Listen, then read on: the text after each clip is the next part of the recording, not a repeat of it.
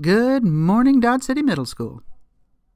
Each morning at Dodge City Middle School, the announcements greet all the students, and we're excited to welcome you to our school community, our school family.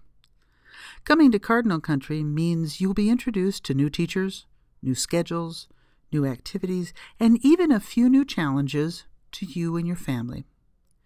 In order to make those challenges a bit easier, We've put this video together that will help you understand one of the elements of middle school the exploratory classes.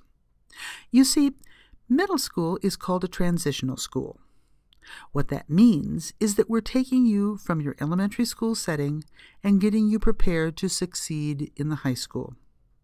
Your three years here will not only include the core classes of math, ELA, social studies, and science but also a wide variety of classes that you may not have known before. These classes are called exploratory classes because they give you an opportunity to explore all of your hidden talents.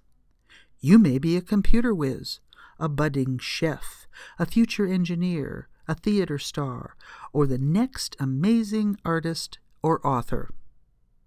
Let's follow Red, the cardinal, through each of the exploratory classes and give you a hint of what to expect in all these new adventures. Here we are at Dodge City Middle School. Let's start in the office. Visitors must sign in at the office when they come to school. So, if your family needs you, tell them to stop there first.